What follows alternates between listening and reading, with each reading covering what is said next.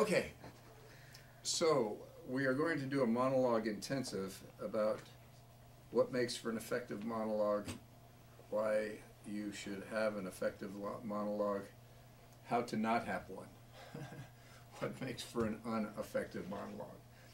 I'm going to cut to the chase right up front and just cover this. There are only really a few acceptable and terrible reasons why actors do not have some catalog of monologues with them at any given point in time. One is the easiest. I didn't know. I had no idea. Nobody ever told me. I didn't know it was important. Nobody gave me the insight on it. Okay. So if you don't know and you're hearing this now, now you do know. The reasons why monologues are so important. Now, the reason I say a cachet of them is because twofold here. One side of monologue preparation is you're only going to get better by going in that direction. If you're continually looking for monologues, keeping an eye out for something that resonates with you, you're starting to learn more about story and character. Huge. How is a story told? Different ways that stories are told knowing when you feel like you're in the telling of a story. What type of characters are, are communicating these monologues?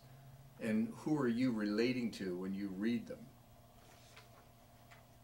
You're going to grow by doing that. I've been reading monologues for decades. It's, it's not anything I think of as work. It's, you just do it. It's just part of who it is that we are. It should be a passion for you. If you don't have a monologue and you don't want to have a monologue, you might want to reconsider why you're an artist, why you're an actor in the first place, uh, because it, it, just it just it's, too much sense. By the time I'm done explaining all this to you, you'll see that it just makes no sense. By you reading these monologues and going through the selection process, not only are you going to learn what I've just mentioned to you, but you're going to start gathering different uh, types of uh, characters for you. Maybe one character on one side you find you have something in there that you, you're, you're familiar with and it fits really nice in a monologue piece. Like if you're a young girl and you're yelling at your father because of the struggles of being a teenager. I mean, fantastic. If you're a young girl who's a teenager, then that's a piece that, you know, shouldn't be too overly difficult for you.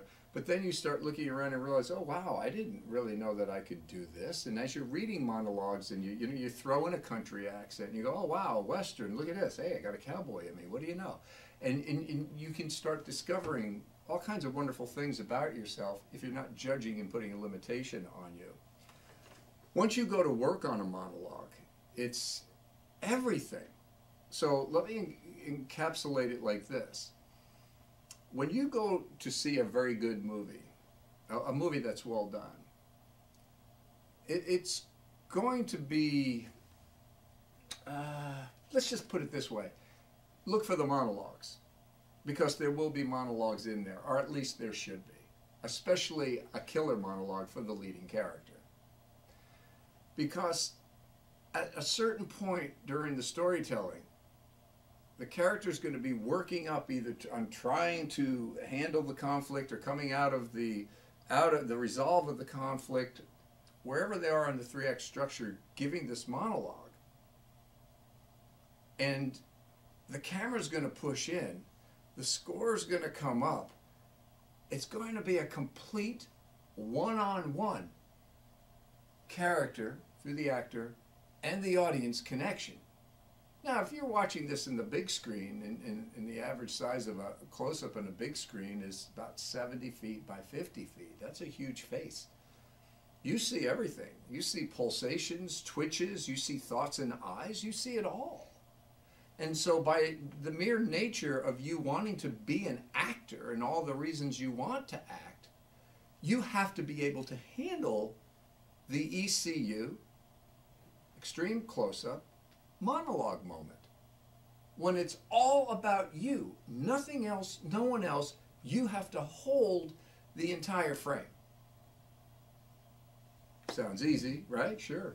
You might be thinking, oh, yeah, no big deal. Yeah, well, I don't find it's that easy. I've been coaching actors for a long time. Uh, it's not done all that successfully all that often. You have to work up to it. The monologue prepares you for this because it's you, one, mono, talking. That's it. There's no distractions in the monologue except what you're bringing to the table. So your ability to analyze script, build character, tell the story and answer the questions and look interesting while you're doing it and carry the information through the duration of the monologue, in my opinion, shouldn't be longer than a minute and a half tops.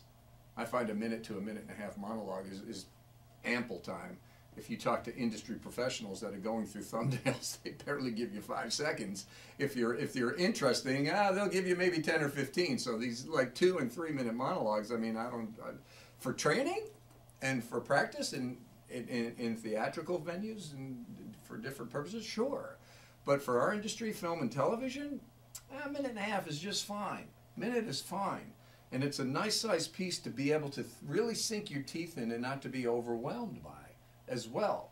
Because by the time I'm done explaining this to you, you're going to see the amount of work it takes to really effectively have a monologue where it needs to be. Which brings me to the next reason why monologues, actors don't necessarily have monologues, and that's the work. They just don't want to do the work. And I look at it this way if you don't want to do the work, then why are you here? What are you doing? If you're a golfer and you really enjoy golf, chances are you're going to find yourself from time to time at a driving range, at a putting green. You're going to be doing things to keep working on your stroke. Uh, it's not complicated. Dancers will go into in, into a, a, a, a, workout and spend the first 45 minutes just doing the stretches to prepare for the rest of the time the remaining half hour, 45 minutes to, to dance in a class. You, people that are really, truly hobbyists, that are enthusiasts, that are into different sports, are going to take their time where they can get it, whether it's free time or they're carving the time, to find a place to work out what it is they're impassioned by. So for somebody to call themselves an actor and to not be doing this, to me, in my humble uh, professional opinion, makes zero sense to me whatsoever. You see, it doesn't cost anything to work on a monologue outside of your effort and your energies. You don't have to really pay these days. If you have a cell phone, it's, you got monologues in your back pocket from everywhere. There are sites out there like crazy. They're on our website. You just go to student resources and it'll it'll say scenes and scripts, I believe, something to that effect. And then there's all kind of links to endless, endless, endless monologues and scripts and stories and teleplays. It, it's it's free. You just get it and you just keep reading and reading and reading until you start finding pieces. And then when you start finding pieces, you go to work on them. Now, at a certain point, you should hire a coach you should hire a professional to come in and start dialing you in, but that's a little premature right now. So if you really want to do it right, sure, there's a little expense in it, but come on. For training purposes, you could work out dozens and dozens of monologues and never lay out a penny and become a better actor on your own time. You can work a monologue while you're waiting for anything. Now, personally, when I was an actor, well, they still bother me. I'm not really keen on, on red lights. Who the heck likes stopping? I like going. You get going, you got to stop. Ah, okay. But you know, you're at a red light, and some red lights. You ever get that red light that you know internally, your internal clock is going. Wait a second, this thing should have turned green by now, and it didn't. And you're going what? And you actually realize that it skipped. Sometimes it skips, and it doesn't let you in. It like doubles the other traffic, and it skips you on a traffic. Anybody know what I'm talking about? I don't know, and I don't like that stuff. It, it would drive me crazy when I was working as an actor, I would continually have a monologue folded up in my pocket, something that I was working on. And the cool thing is, when you're in traffic and you're in a traffic jam, it's not going anywhere. CHP is doing the whoop-de-woo, holding everybody off, or you're at that crazy red light, you're working on your monologue. And you're just reading it over, working it over, working it out. Trust me, when the light turns, the, the person behind you will give you a friendly reminder. and you just go. And, and you're in an audition. If you're an active uh, uh, uh, actor and you're out there auditioning, you're sitting in the waiting room. My gosh, I can remember sitting in the waiting room for an hour, an hour and a half, in some cases, two hours. Now, union, they got to pay you for that, but still, you're sitting around what are you doing? Looking at everybody else or, or, playing with your phone and doing social media and stupid stuff that doesn't do anything? Or you could be working on a monologue. Oh, well, that's the difference between professionals and amateurs. Pros are going to submerge themselves into what they're doing so they can become a specialist. And a specialist is somebody that does just that. They specialize in one thing. And an actor's one thing is their ability to tell stories. And the monologue does not require a scene partner. It requires you and doing your work. So, I say get off your blessed assurances and uh, let's get down the road with learning how to make monologues effective. So you don't only, only just have them, but you know how to execute them and to get them to scream, to sing, to soar. So that it's like, wow, that's pretty stinking good. As opposed to, when's this thing going to be over? You know, that type of deal. So we're going to go ahead and cover these things now that I've got your attention on the importance of having a monologue and why you should, and several. I say minimum three. Just you don't have one. What are you doing with your time? That's the, and I mean performance level, ready to go. Bam. Three, you should have a dramatic, a comedic, and then what I call something that's special or unique towards your own personal skills or ability, something that, that gets you to speak uh, really well, that personalizes you. If you do accents, maybe bring in a piece that lends itself to accents or something that's highly character. You want to be careful with anything that has to that, that is dependent on anything outside of your performance, like props and wardrobe pieces, because you'll never know where you'll be asked to do a monologue, and you don't need to be carrying around a bag of tricks. It should just be your ability to go into the character. And when you know it well enough, boom, what do you need? Comedic? Dramatic? Just let me know what you need. Okay? And then you're, you're, you're ready to deliver. And if you're into Shakespeare, go for it. I personally am not uh, uh, very uh, keen and up there on Shakespearean pieces. I like working more contemporary myself. Uh, there are specialists out there that would do uh, far more justice than I would. And if you're into the Shakespeare, although I can coach it and I do coach it, and I have coached it, um, I would go to a specialist if you want to do Shakespeare. But I also wouldn't perform Shakespeare necessarily in front of casting people and industry people that are looking to turn around the next day and, and put actors to work in the breakdowns that they're reading on a regular basis. That's just my opinion. Okay, so do whatever it is you want with the Shakespearean stuff and period pieces such as those because for me, the monologue should fit you like a glove. So I'm going to give you a couple of bullet points on where you got to go with monologue performances. Here you go. First thing is the fit. You need to find the monologue that fits you and monologues that fit you fantastically well. Now, if the monologue doesn't fit great at the onset, no worries. You get it tailored and you work with it and you personalize it. Now, some people are really good at writing and they can make these adjustments. If not, you need to work with a coach or an industry pro that's good at this, a professional writer that knows how to edit and customize a piece for you to make it work specifically for you. So let's say you find a piece that just speaks to you and you're in your 20s and somewhere in the monologue, there's a line that says teenager or 30s or 40s or whatever. I mean, you if the monologue still works for you, you just edit around that, and you make it work. If there's certain things that aren't quite you, you make them work. You you you can take a monologue, and edit it and customize it so that you're able to speak with it uh, with as much power, ownership, honesty, and believability as possible. And whatever it takes to get you to connect to that truth and that honesty. Fit is huge. That's why you need to read a lot of monologues, a lot of screenplays and teleplays and plays to be able to find just that right one, that one that you can work yourself into. And even if you're stretching a little bit, say within your wheelhouse, great. But just know what it is it's going to take. So, like for example, if the monologue requires an accent, but you don't have it, wherever it might be, you've got to study out that accent. Because if you're performing this, uh, there's a real good chance that somebody that knows that region is going to call you on it, and you definitely don't want to get hit with that. So if you are picking something like that, you got to get real good at it. Let's say you're using a cigarette, and, and here's the big deal. If you're not a smoker, you need to spend some time learning from real smokers how to hold, manage, handle, lip, smoke a cigarette because I, I can spot it in a second. And it just pulls us out of the scene. It pulls us out of the suspension of disbelief. Your job when you're giving a monologue is to suck us into your world and take us on a journey. That's ultimately what you're looking to do. So, fit is huge. I've seen, I, I, do some uh, kid coaching periodically, and I, I love it when my little teenage girls try to do Queen Elizabeth. It's like, yeah, okay, yeah, that's great for fun and working out, but I mean, you know, come on.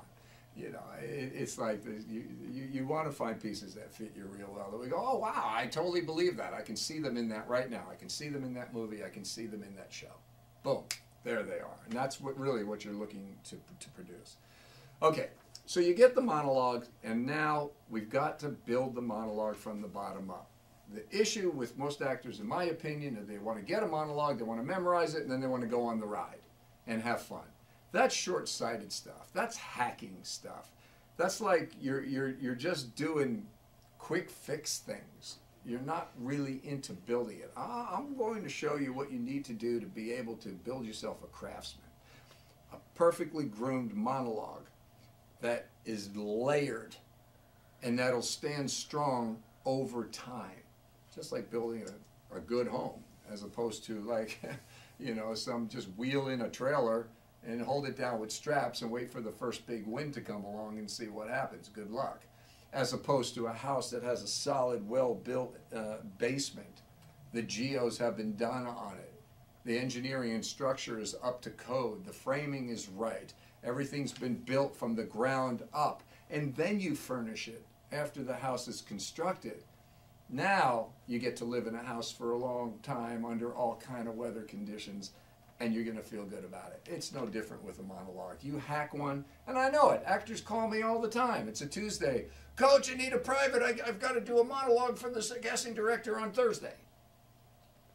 You don't want to be in that situation. That's crazy. You want that monologue ready for that call so you can go, got this, no problem. Would you like comedic, dramatic, one minute, two minutes, 30 seconds? What would you like? Okay, and then you can deliver just like a singer, a real singer. You know, just give them a song, let them go.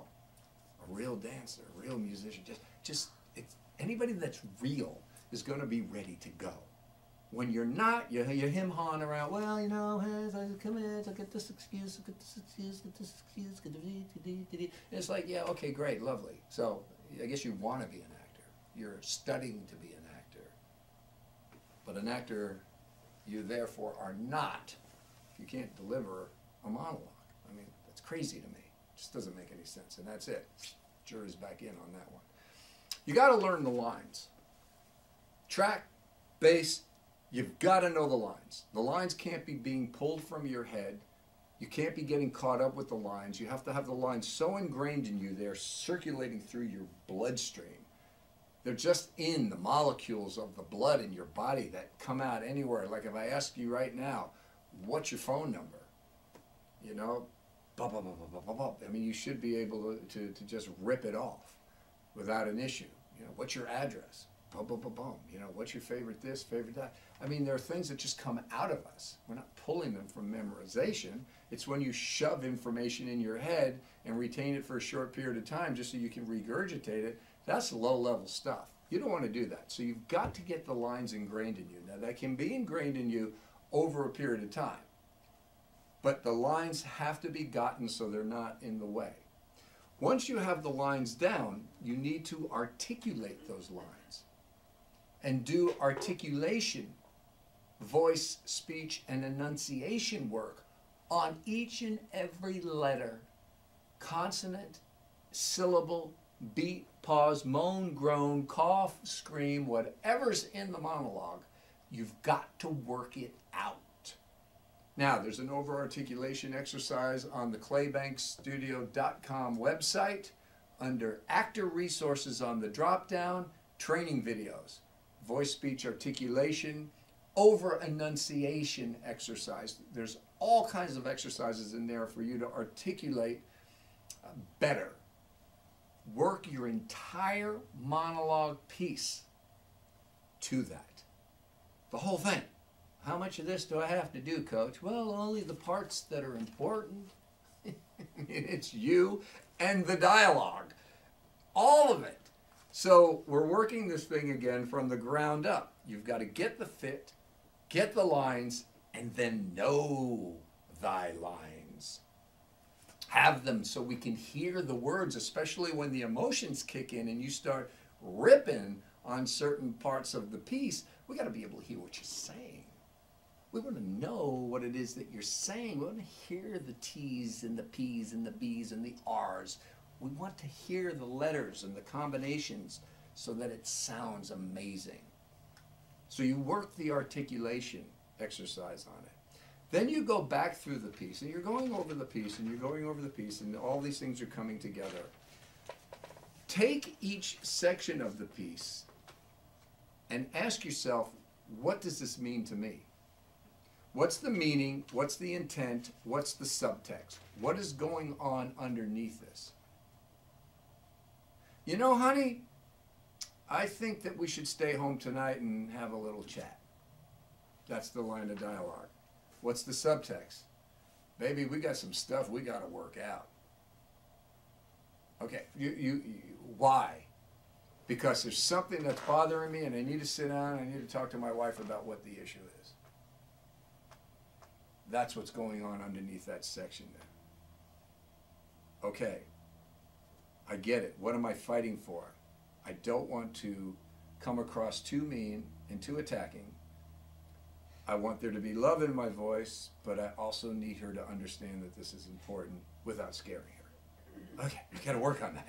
There's a there's a combination in there. So it, it's it's I, I, that's my meaning. That's how I want to say that line. So I take time and I work on what is my intent? What is my drive? What is my what what is my outcome? What am I looking to accomplish when I say this word? When I say this line? When I say this section? of the paragraph. Whatever it is, because intent can fall in one letter or it falls in, in a combination of words because that's one concept. So you're, you're looking at what, why are you saying what you're saying? And I find so many actors will just get up, memorize lines, get up and start spewing it because the, the, they were written well. The, the piece was written well. The monologues have been written well. It's like, oh, I want to get behind this. It's like when somebody compliments you on your clothes. You know, it's a nice shirt. Oh, cool. I didn't design it or anything. I didn't even buy it. Somebody gave it to me. And like, you know, I mean, if you really get literal that sense, you know, how, how much did I have to do? Oh, it's my choice to put it on. It was my choice to receive it, or in the case, it's my choice to buy it. So you're complimenting me on my choice, not on the actual material, unless I was a fashion designer and I was coming out and going, oh yeah, that's a nice one. Great. I've been working hard on this material. what are we doing? What are you saying? Don't just come out and say something because it sounds good. What's your part in it? You getting up underneath that and making a personal one on one connection to why you're saying what you're saying. And you do that through the entire monologue. Now, when you find those significant objects or significant nouns, those things, those people, those places in the piece, they have to be packed with information so that they mean more. So if you say, "Hey, listen, I'm just going to hop in my car and I'll I'm going to stop by Mary's and I'll see you there at 5." Hey, I'm just going to hop in my car I'm going to stop by Mary's and I'll see you there at 5. So a couple of the significant nouns would be car and Mary. All right, so car and Mary. Now you say, oh, what's so important about that line? Okay, well, I'm just going to hop in my car. I'm going to shoot by Mary's, and I'll see you there by five. There's the delivery. Cool, casual. But if you stop and you think about your car, you make decisions. Is your car a big deal in this piece as part of the story? Does the car matter? So let's say the car matters. I'm a car guy, so the car matters. What kind of car is it? Ooh, it's a 1970 SS Chevelle 396 402 heads. It's got a 456 rear end with a smash gear shifter and the sucker screams. Oh, it's got these beautiful brushed aluminum wheels. And just getting in it, it's like power. Okay, go back, time it. What was that? Eight seconds? I just packed the significant noun of my car. I'm going to swing by Mary's. Who's Mary to me? Go, oh, Mary's no big deal. Not a good choice for an actor. Because even if Mary is not a big deal, you've got to make some kind of deal out of it. Otherwise, why did the writer give you the name Mary? Why are you dealing with Mary? Why is Mary coming off the end of your lips? So, who is Mary? Mary's a friend of the group. We got a group. There's about 12 of us. And some are married, some are single. Mary's just one of the girls. Don't really think much about Mary, but you know, I'll swing by her house on the way over, no big deal. I'm just making random choices. Okay, so that's who Mary is. So who's Mary to me? Nice gal, she's cool, part of the group. Nothing more than that right now. There was a light packing. It's an overnight trip. Okay, but you see, I've taken the time to capture the objects, the significant nouns, just by doing that. So now when I deliver the line and I say, oh yeah, I'm just going to hop in my car and uh, swing by Mary's and I'll see you there by five. Something else is happening to me. Because as soon as I said hop in my car, oh, I'm in my car. Just for that one little second. Now, the audience doesn't necessarily know what's going on, but something's going on, and it makes me more interesting. I'm going to swing by Mary's. Not a major difference in the read, but something was on it. And sometimes it can be as little as, I don't know about you, but have you ever eaten a piece of chicken and it's just not working for you? So you just put a little salt on, just a little bit of salt and say, oh, How'd that happen? Sometimes just a little bit is going to make a difference. And if you're taking the time to work through your monologue, you are now, in my opinion, worthy of asking the viewer for your, their time to watch you. Because for me, if you're not doing this work and you're asking me to watch you, how? Because you're in a TV show, because you're auditioning, you're putting on a, a, a, a, showcase. You're just doing your monologue and say, hey, listen to this, whatever it might be. Or even a major feature, and it's your turn and it's your monologue. And I'm sitting there watching, then you're asking for my attention. You best be doing this work if you're asking for my attention to actually listen to you. If not, you're insulting my intelligence because all you're doing is memorizing lines and thinking you're cute enough that the monologue's going to work. Uh-uh. No. And you should always be working to impress the most difficult to impress person, not the easiest to impress person, if you're serious about becoming very good. Because that's just basically how it works, because our business works in levels from F to W to H till you start getting to D and then C and then B, and A, and ultimately A plus. I mean, it's all levels. And for me, there is talent, and there's work, and there's application of your efforts that determine a lot of this. And you can see when somebody's just doing schlep, because most coming about actors, in my opinion, don't put in the energy and the effort. They're either making it by in their personality or their Instagram followers or their their look or pizzazz or body or charm and their slight ability to be able to wield some language. That's, in my opinion, doing this as long as I have been doing it, is the majority. And then you start getting into the people that actually do do the work. So that when they're showing you something, you can go, wow, that's actually really good. Yeah. Similar to, I like making the little analogy. Sometimes some of my, my gal pals that, that are single will need help hanging a, a, a mirror or a picture or some kind of work they need done in their place, and you know I'll go over there and I say, "Where are your tools?" And they go into the kitchen and open up a little drawer.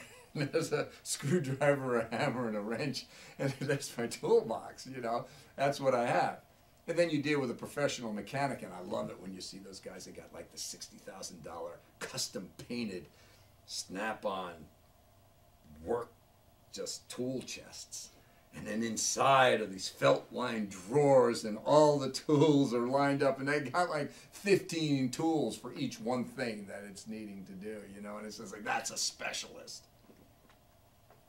You know, where are you with this? That's the way I look at it. How, what kind of toolkit do you bring when you're asking me or any other industry professional to hire you?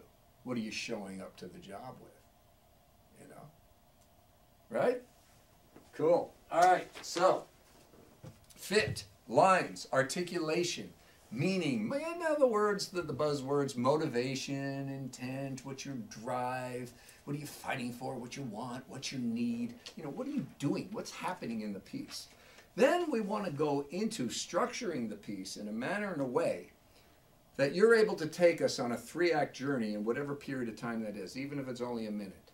You've got to have a beginning, it has to have a highlight, a climax, and it needs to resolve and finish. Boom. Some aspect of that story needs to be told in a very short period of time. Although a lot of one minute monologues are flat. Nothing happens, no nothing happens to the character and they don't excuse me, actually go anywhere. And it's just boring. It's a flat, boring read. So you, you want to take the audience with you.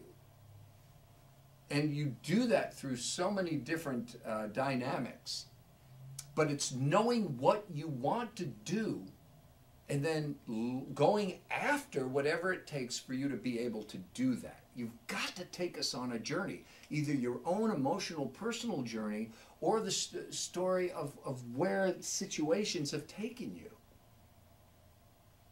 And that needs to be done in a very short period of time. So when you're going back to fit, I, I, students have been bringing me monologues for years. Coach, what do you think about this one? I go, it doesn't do anything. It doesn't go anywhere. I mean, maybe it worked great in the TV show or in the movie, but that's because you had all these other things supporting it. The monologue needs to stand on its own, and that's another very integral point. When you pick a monologue, the monologue needs to stand on its own. It needs to tell the beginning, middle, and end story on its own for the whole duration that we're watching you. You can't rely on whatever the, if you, let's say you're transcribing it, you're pulling it from a movie or a TV show. You can't rely on what you're seeing that actor do because let's say that monologue comes at the big at, at the beginning of the third act. Well, you've got two full acts that have led everything up to this actor saying this that your new audience does not have. But the audience in the TV show or the movie does have. So you, you've got to be careful not to just yank something out and do it. It should stand on its own with a beginning, middle, and end. And so when you're going in for the execution, your execution is now being built on a piece that's fitting you well because you're editing and working with it, especially if you're working with a coach.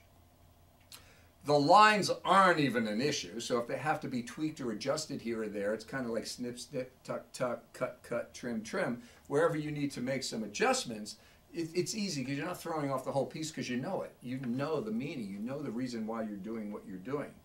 You've done your articulation work so we can hear you properly, especially when there's fast riffs and fast banters and a lot of comedic material. You've done the who, what, where work. Now, I didn't cover the where yet in too much detail, but another thing I see actors doing often is coming out and just performing monologues without using their environment, which is a mistake because you're missing out on something that's right there for you that has to be created out of your imagination. You can put yourself in a submarine, in a kitchen, in a bathtub, in the Home Depot, on a mountain. You can put yourself anywhere, but the monologue is taking place somewhere. Where is it taking place? And when you do really get that environment going, you can bring that environment with you everywhere you go, every time you perform the monologue. So that's ultra important. Just as it is who is it that you're speaking to? So keep this in mind. A monologue is a dialogue that we are only hearing one side of. Now, if the filmmakers are cutting the monologue, we can see two sides of the monologue because we'll just go to the reaction shots of the person that's being talked to. So now we've got a, we've got a scene, a two-person scene. One person's talking, the other person's responding, non-verbally. Now, in the case of you performing it, we're only going to be watching you. You've got to make room for what that other person is doing, how that other person is responding, what that other person would be looking like when you say this. What is it that they hear? So you also have to do the work for the other person. You can't just spew it out.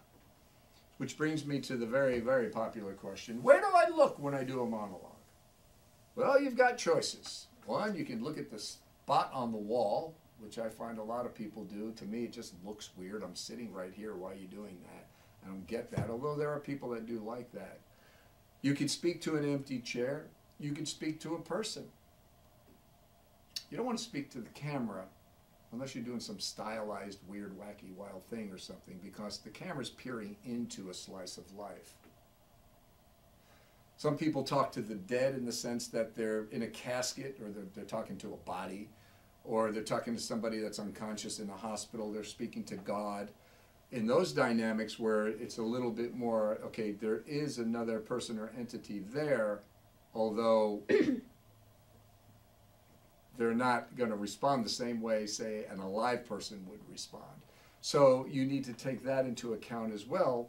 So when we watch you, we're getting caught up in this suspension of disbelief. I'm going, wow, I am so there with this person. Why? Because the actor has done all the work. But you see, when the actor doesn't do the work, an educated audience is going to go, well, that's missing. Well, I don't know what's happening there. They might not even know why. It just doesn't work. So he said, what'd you think? Oh, you know, it was okay. I mean, it was good, I guess. As opposed to, what? they slayed that thing. They left their soul on the floor. I was there, hook, line, and sinker well done. You know, what kind of response are you going to get? And it has to do with how many of the dots are you filling? How much of the picture are you doing the work on and are you filling the frame? So when it comes to a location, you're just going, okay, I'm in a Home Depot. Okay, well, where? What aisle? What's around you? What's going on? Why are you there? What are you looking at? The more you can fill that picture, the more support system you have as a performer when there's no one else there.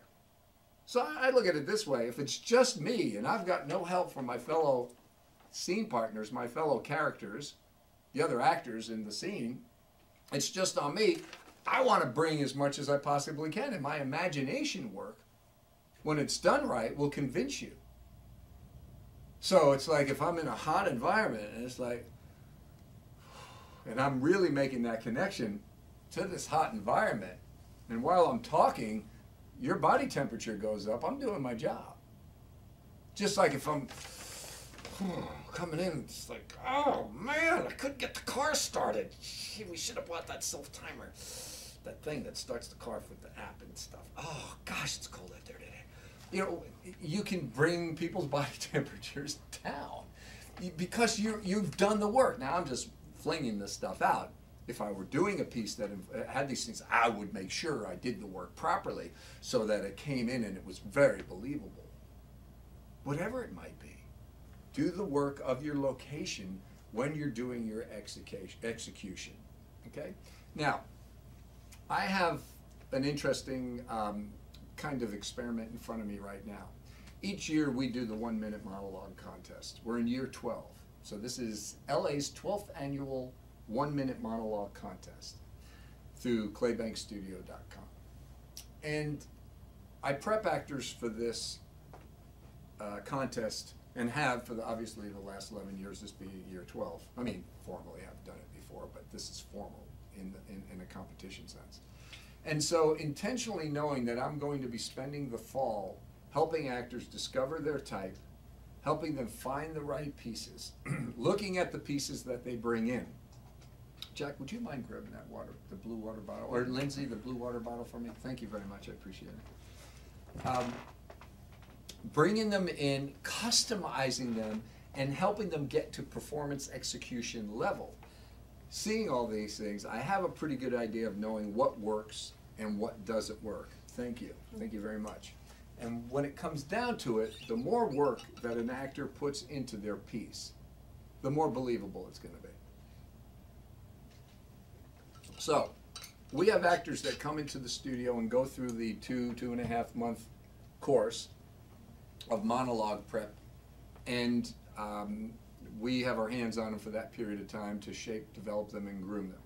But then we have actors that come in from the city that we don't know anything about, and they come in and throw their monologue pieces up. And you can see when you're looking at something that's really just so, ooh, they heard about this contest, they're going to get in front of industry professionals, casting directors, agents, and managers. Ooh, let me get a monologue together and let me go up there. And you can see it, and it's paper thin. The performance is just paper thin. There's nothing there because they really haven't gone to work on it. They either don't know how to, didn't take it serious, were too lazy, didn't do the work, whatever it might be. And now they're going to go up against people that have been just working on it and workshopping it and workshopping it and workshopping. Well, now there's another level of people that I work with, and these are the people that I do privates with one on one. I get them an hour a week uh, via Skype or in person, depending upon where they are in the world. I've got students in Europe and different parts of the country, and obviously here in Los Angeles. And we will, we will go to work. And session after session after session, we're working on the monologue, building it from the ground up. Now, I have two teenage girls who basically just, you know, they're not as strong willed as some of the, uh, you know, adults I deal with. They, go, I want to be good at this. You're my coach. Teach me what to do. And it's nice because I can really watch what happens when I work with them without getting the kickback from the actor. See, a lot of adult actors will only do so much work until it's not comfortable or you're not saying what they want to hear anymore, and then they just take off or move off, or they won't do the work. They'll find someone else will tell them whatever it is that they want to hear, but they won't get in and do the hard yards. Whereas my teenagers do do the hard yards. And so right now, I'm, I'm, I'm watching this that's going on right now. Week in and week out, week in and week out, I am taking them through textbook how to build solid monologues, where with the adults it's not so easy. And I don't, I don't always have them that captive. And right now, taking them from all these levels to the point where they're ready to start executing these performances and turning in their, their finished pieces. It's just like, wow, look at this. This, this cat could barely act. Now look at this performance that they're delivering. This is really impressive. And then I get my actors especially the ones that are a little cute, that have a personality, that have some charm or whatnot, and they, they're, they're kind of getting by on that. Trying to hold them down to do this kind of work, they slip out. They're just slippery little cats. Slip out, slip out, slip out, slip out, because they're getting a certain amount of results just off of not working. So why do it? A sad answer because if you've got that going for you, why not just add the work to it? Because if you add the work ethic to all that, now you got a shot of not only getting work, but having a career and possibly being a star. So it comes down to doing the work, and that's why I do these intensives uh, during this time of year to help you understand more about what it's going to take. Um, just had an actor today. One of my actors sent me an email Lauren, you were right there in the room when I opened it up. It said, Coach, I got a bite on representation. They want to see me this week with a monologue. Can you help me? Perfect example.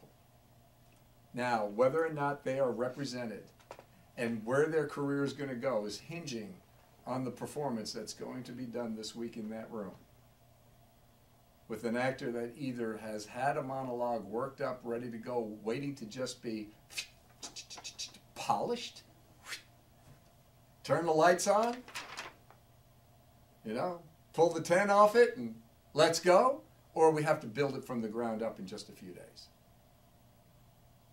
This is real. It's happening right now. So go to work and get yourself some good monologues. I'm just going to give you a couple of uh, little taps here, and uh, we'll call this that. Okay? So again, just to do a review, fit. Fit comes from reading pieces. Read, read, read, read, read, and become impassioned about reading. And if you write, write, write, write, write, write. Learn your lines.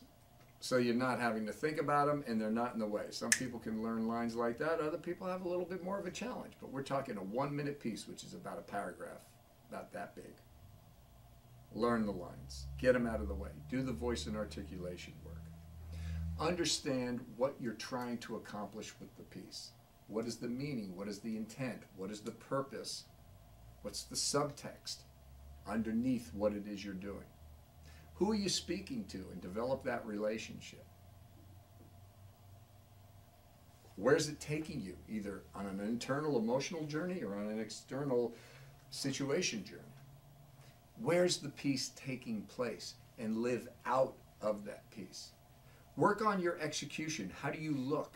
What's the blocking? What are you doing when you're saying this piece?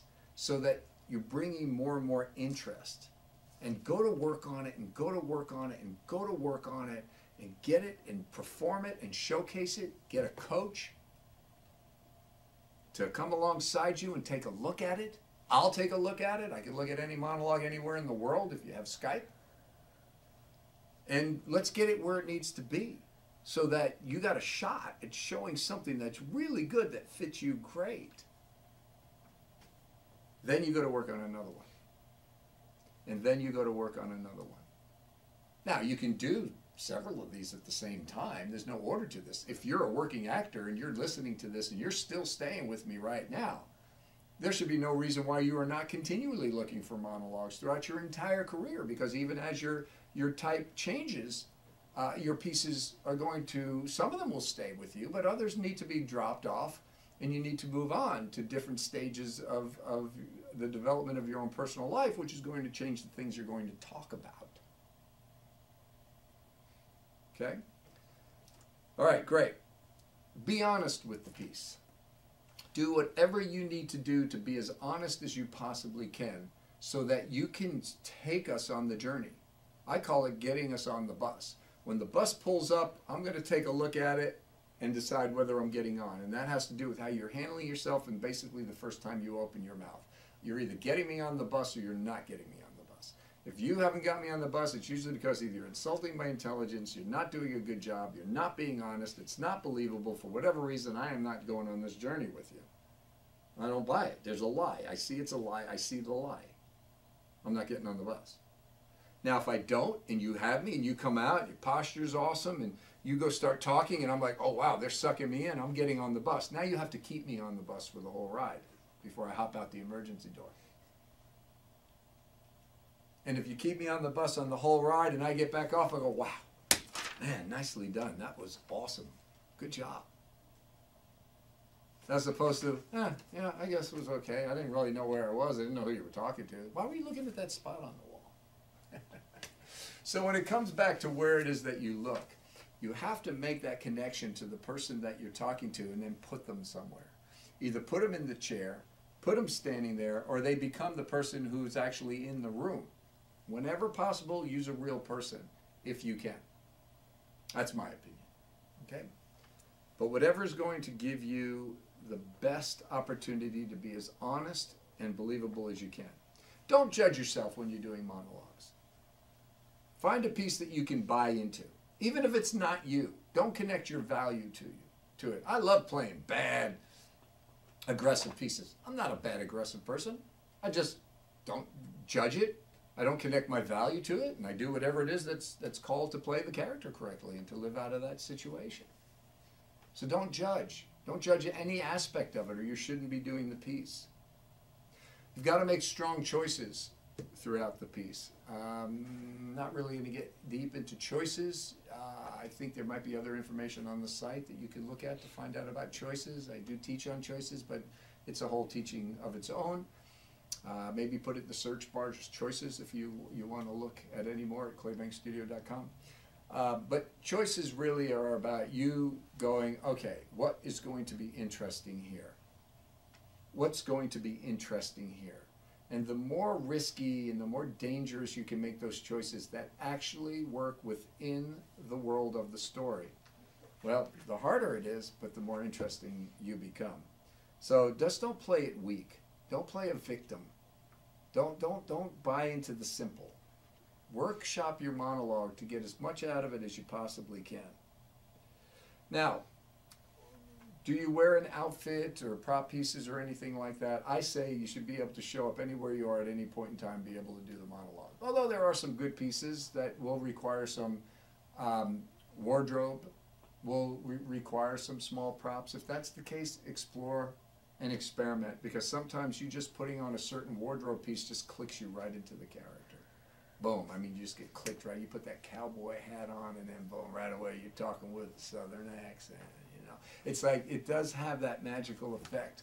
Often put a cigarette in the hand. Sometimes it takes you to a different place if you know how to wield a cigarette. Okay.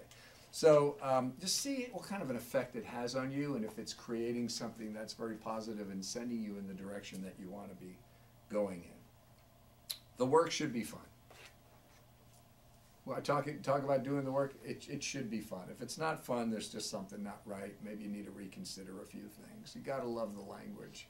You've got to love doing this work and telling these stories because then you warrant a place in, in somebody's time and in their eyes and their ears to, to say, okay, yeah, this is an actor. They, they've got a craft down. They're doing this thing.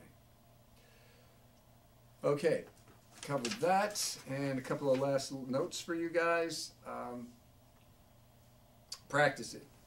Practice it, practice it, practice it under all kind of various situations, under all kind of various audiences. Do it to your dog. Do it to your friends. Do it to strangers. Get in a professional setting. Do it in a workshop. Eventually get with a coach. Get with a coach that's going to help you through this. At whatever level of this, I have people coming to me, coach, just help me find a piece. I mean, they just have trouble knowing who they are. And that's like the basic level. Okay, we'll help you with that or a coach, I'm having a little trouble with you know the who, what, where along the way, or whatever, or right on through the polishing of it. What's going to happen is a coach is going to come alongside you and put an objective perspective on a subjective situation and help you to help you you deliver it the way we see it, the way the world's seeing it, and that's priceless information. That's why I have a job to help people do just that, and that's coaching. I come alongside people on a regular basis and help them with their scenes for movies, for TV shows, for working out, so that you can learn more about you, learn more about how to break down the copy, understand the character more, so that you can get it in you, on you, and of you, so that when you're doing it, you become more and more believable uh, with the stories that you're telling and the characters that you're playing. Now, I have on my uh, blog, claybanksstudio.com, CBSI blog is the drop down. It's called the Actors Freeway, and the Actors Freeway gives exercises on working out uh, your character. They're at the bottom of the blog posts, not all of them, but several of them. If you go to the bottom of the actual blog post of what if it's talking about character, it'll have an Actors Freeway there, and it's an excerpt from my book. And basically, my book is uh, The Actor's Freeway Free Things Actors Can Do When They're Not on Set or in Class to Continue to Develop as an Actor.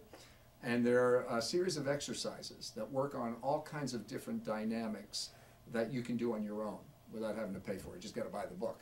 But these chapters are actually on my blog post, so you can get them sporadically all over out there. Uh, the Actors Freeway, just look at it under monologue execution, under character, and uh, then go ahead and go to work on those actors' freeways. So we've kicked you off there. All right, now I feel like I've given you a pretty good rundown of the importance of monologues, why to have them, what they're for, the key uh, building blocks of putting the monologue together effectively, and the uh, do's and don'ts and uh, ups and downs of it. So the rest is really up to you. Uh, if you're watching this video, wherever you're watching it from, and you have any questions, you can certainly contact us and uh, we'll get back to you and help you with that. Uh, if you guys have any questions, we'll address those questions right here, right now, before I sign off over here. And also keep an eye out for LA's one minute monologue contest. You can go to our website, which is one monologue.com, and it has everything and more. You can see past performances, winners, rules, contest, what's involved, links to monologues, YouTube channel filled with one minute monologues. Everything monologue is available to you there. Um, I think it's linked up at claybanksstudio.com as well as the number one minute monologue.com. And uh, it takes place every fall. So whenever you're watching this, check it out and see what the rules are for each year and what's involved with getting getting uh, involved in the contest. It's an amazing, fantastic, exhilarating, upbeat experience that just teaches you and develops you and grows you. And also, depending upon the rules of that year, you'll be shown, your monologue will be shown to some of the top industry professionals in Los Angeles, which is really kind of cool. And we have great testimonials that are on the website as well that come out of this as far as careers being developed and people landing representation and working with different filmmakers and things of that nature. So it's really kind of cool. The number one, minutemonologue.com. Check it out. Wherever you're seeing this, if there's a like, like us, go ahead and comment, connect with us, uh, reach out to us, anything we can do to help you out. We'll be happy to do that. So I'm Coach Banks. I want to thank you for tuning in and listening, and uh, hope to see you in the studio.